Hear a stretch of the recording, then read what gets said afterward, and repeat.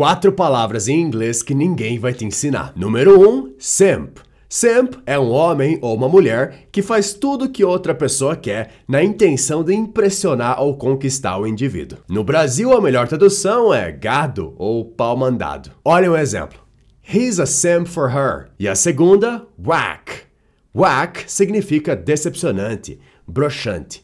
Por exemplo, that movie was whack. E a terceira, ballin'.